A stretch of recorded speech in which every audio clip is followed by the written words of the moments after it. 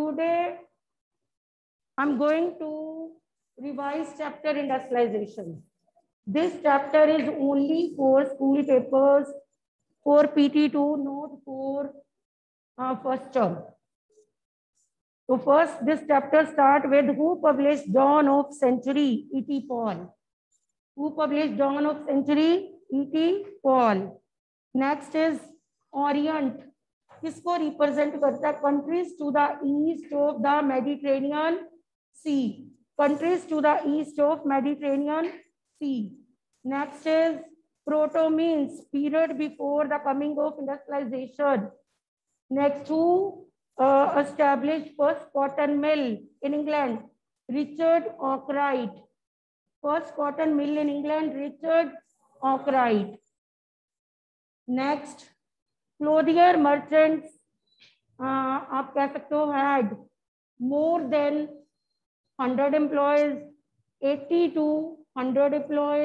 या फिर sixty two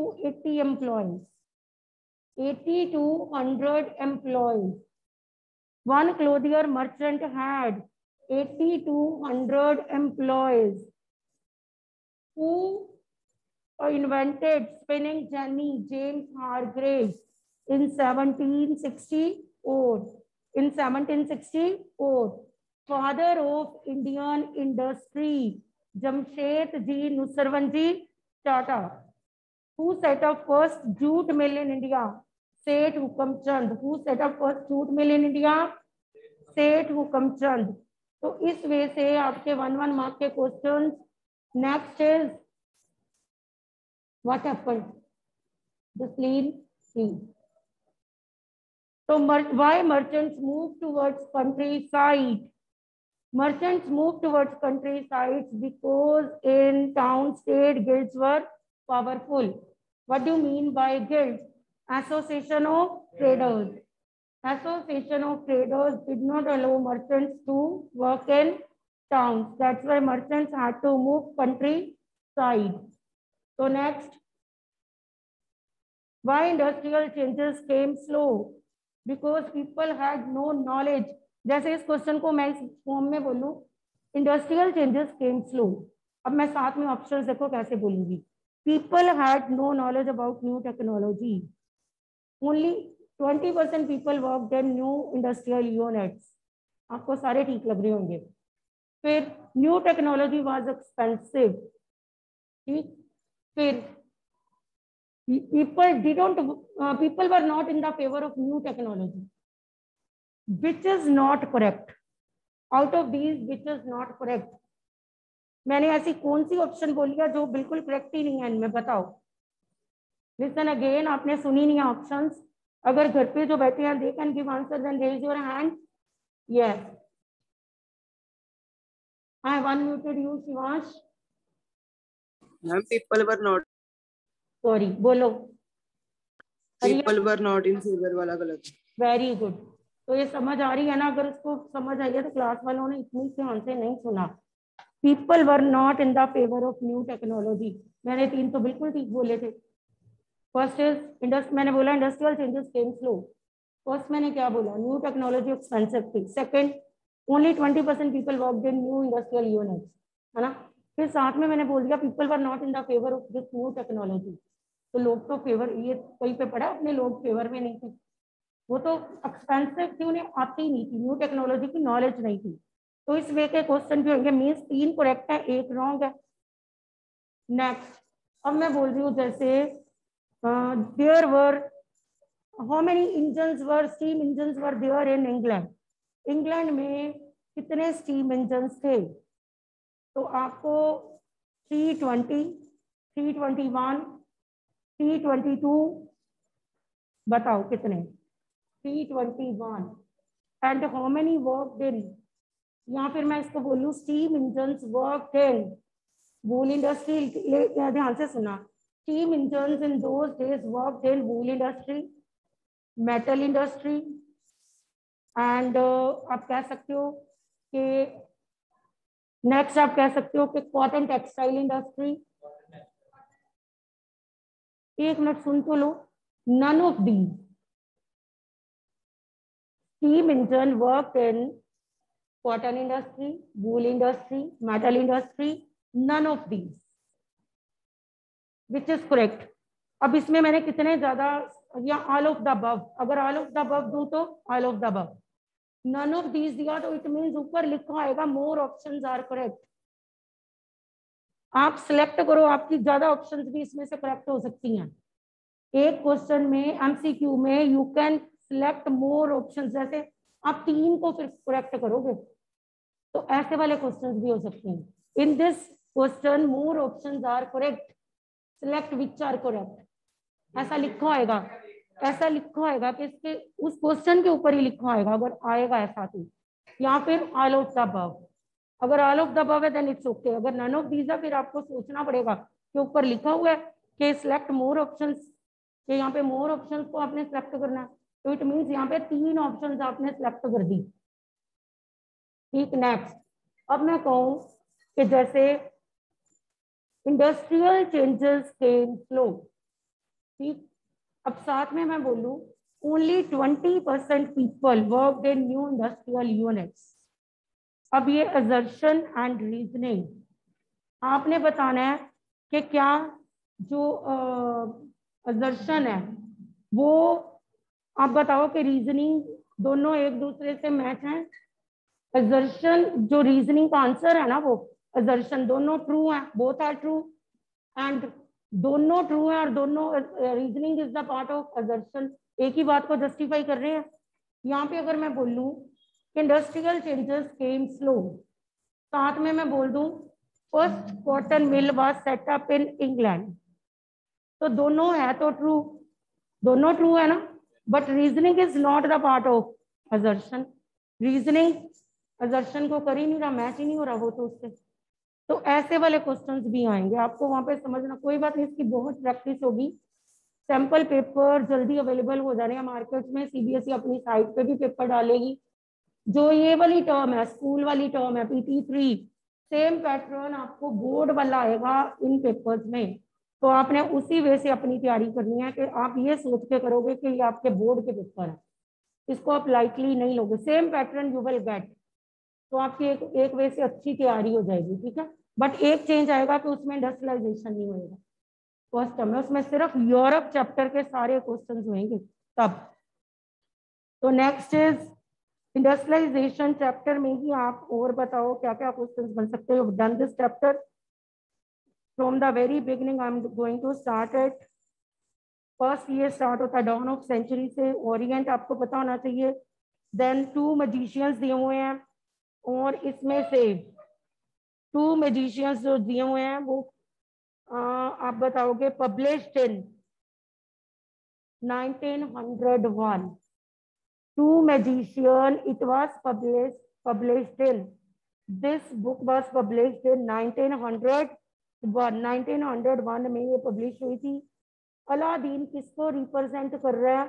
East and past Aladdin representing east and past versus modern जो mechanic दिखाया represented west and modern क्योंकि east आप सोच लो इंडिया ईस्टर्न ईस्टर्न पार्ट में है।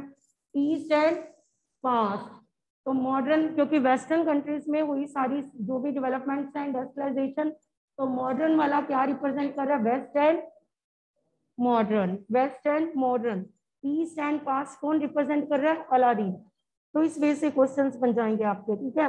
नेक्स्ट इज़ स्टेपलर कौन होते थे?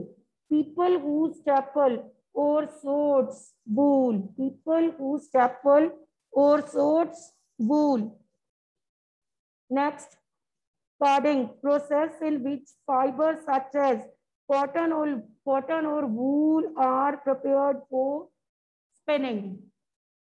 Process by which fibers such as cotton or wool are prepared prior to spinning. Next is industrial changes came slow workers. Workers वाला वर्कर्स की कंडीशन कैसी थी why workers work hostile towards new technology क्योंकि वो क्या हो चुके थे why they were hostile towards new technology because they lost their jobs their work was done by machines they had to live in slums तो इस way से आप बता सकते हो workers were hostile towards new technology first आप कह सकते हो कि first industry to be set up in Britain cotton industry cotton it was followed by it was followed by iron and steel industry demand of raw cotton increased or decreased with the coming of industrialization in britain raw cotton की increase हुई थी and demand of cotton textile increased or decreased with the coming of industrialization in Britain. Cotton textile decreased. Who was Henry Petullo? He was British official who said that the demand of Indian cotton textile would never go down. Who said? Henry Petullo. अब मैं पूछूँ Henry Petullo said that demand of Indian cotton textile would never go down. Options में मैं पूछती हूँ. It was cheap. Second, it was easily available. Third, it was of finer variety. All are correct. क्योंकि cheap भी थी वैसे cheap नहीं थी।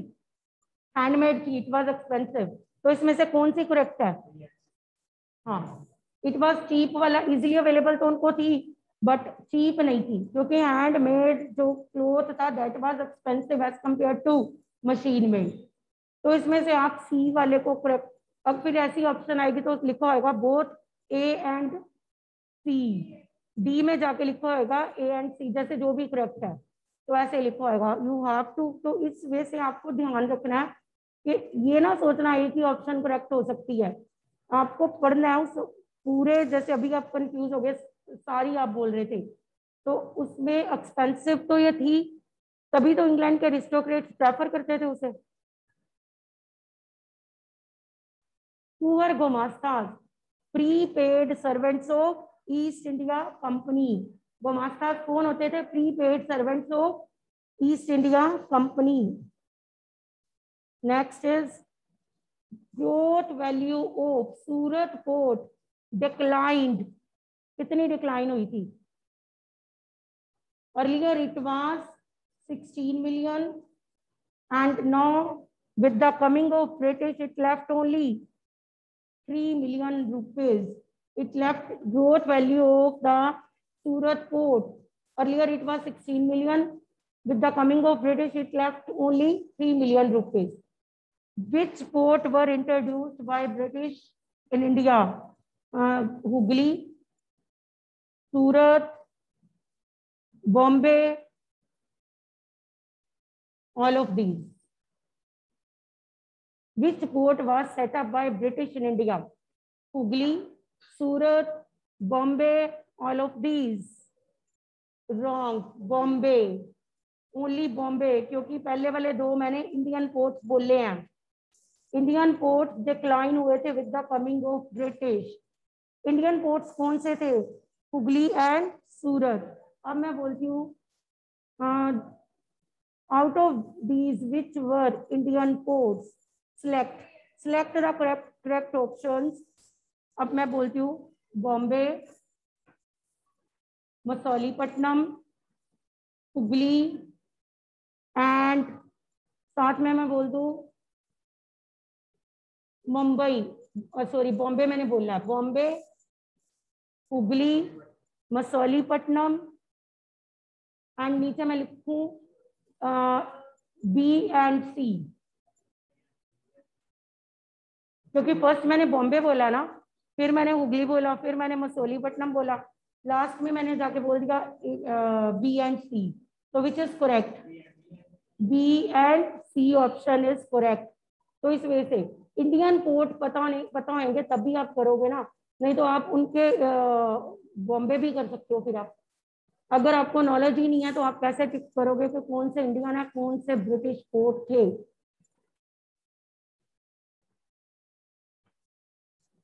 Who was Dwarkanath Tagore. He was Indian entrepreneur and who set up first jute mill in India? Say to Kamchand. Father of Indian industry. Father of Indian industry. Jamshedji Nusravanji Tata. who was jobber jobber who was jobber who worked who worked in industry who recruited workers in industry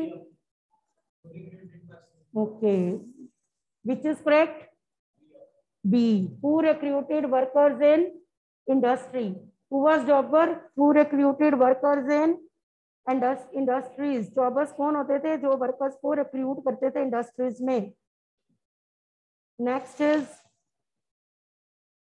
how producers expanded their markets. Now listen carefully. By employing more and more workers, by buying new technology, or by giving advertisements of their products. By giving advertisements of their products. Producers expanded their markets by giving advertisements of their products. अब मैं एक और question बोलती हूँ, जैसे why producers preferred workers then machines अब मैं इसमें बोलती हूँ workers were easily available listen carefully workers work at low wages next अब मैं बोलूँ, जैसे question is why producers preferred workers तो वर्कर्स इजीली अवेलेबल थे. वर्कर्स लो वेजेस पे वर्क करते थे. Workers knew how to run the new machines. Both A and B. Both A and B. क्योंकि वर्कर्स को तो मशीन्स अभी चलानी नहीं आती थी तो why producers preferred workers then machines उन्होंने वर्कर्स को प्रेफर किया मशीन्स को नहीं किया मशीन्स क्या थी एक्सपेंसिव न्यू टेक्नोलॉजी क्या थी एक्सपेंसिव थी new technology expensive people had no knowledge about new technology तो इसलिए एंड न्यू मशीन्स जो थी they were not so effective as their mentors told so that's why producers preferred, किसको prefer किया producers ने? Workers then machines aristocrats of england preferred handmade goods or machine made goods? Handmade goods. Why handmade goods? Because handmade goods had a better finishing touch and have different varieties. कितने varieties के hammers थे 500 varieties of hammers were there in those days. Why 500 varieties of hammers were there in those days? Because they were handmade. Because they were handmade. 45 kinds of axes. 500 varieties were there in hammers and axes में 45 45 kinds of axes 500 varieties of hammers were there in those days next अब आप आ जाओ जैसे Europe chapter Europe में first 1770 first आपका Frederic Sorrieu के prints हैं फ्रेडरिक सोरियो के प्रिंट्स 1848 था कौन वो? French artist Frederic Sorrieu was French artist Europe के वन वन मार्क के कितने क्वेश्चन जो मैं सिंपल वाले बोलती हूँ? Listen Germany was unified in Germany was unified in 1871 18 January 1870 Italy was unified in 1861 uh, act of union by which Scotland became the subordinate partners of UK Scotland बोला मैंने 1707 act of union by which Ireland became the subordinate for 1801 in which year industry glorious revolution came in Europe 1688 next is why it was known as glorious revolution because there was no bloodshed no war किसने अपनी powers peaceful वे से दे दी थी monarchy को? Monarchy ने अपनी powers किसको दे दी? Parliament monarchy of England gave its powers in a peaceful way to, in which year Greece declared its war of independence? 1821. In which year Greece became an independent nation? 1832. In which year Zollverein was introduced? 1834. With the efforts of Zollverein was trade union. क्या था Zollverein? Custom union. Trade union or custom union? How many custom barriers were abolished with the custom barriers? How many? 11 custom barriers were abolished with the coming of Zollverein. How much percent custom duty traders had to pay in those days? 10%, 5%, 6%. 5%. Traders traveling from Hamburg to Nuremberg in 1833 had to pay 5% custom duty and they had to clear how many custom barriers? With the coming of Zollverein, number of currencies remained from 30 से कितनी रह गई to three zero thirty से कितनी रह गई टू तो next is Silesia revolt Silesia revolt का ईयर एंड डेट दोनों 1845 is correct give date also. 4 june 2 pm 1845 name the journalist who saw this event. Name the journalist. Wilhelm wolf who was the ruler of germany uh, when uh, frankfurt parliament was who was the ruler of prussia when frankfurt parliament was held? Wilhelm iv under whom Germany was unified. Name the ruler. William I. Who unified Germany? Who unified Germany? Bismarck. Who unified Italy? Count. Name the ruler of Italy under whom Italy was unified. Name the ruler. Victor Emmanuel. Victor Emmanuel II. How many wars Bismarck fought for the unification of Germany? Three wars. He declared first war against Austria. He declared first war against, second against, third against France, third against France. Italy was divided into how many states? North Italy was under Austria. Central Italy was under Pope. South Italy was under Bourbon kings of Spain. South Italy was under Bourbon kings of Spain. Who was Garibaldi? Patriotic soldier of South Italy. Who was famous for red shirt soldiers? Garibaldi. Prepare these types of questions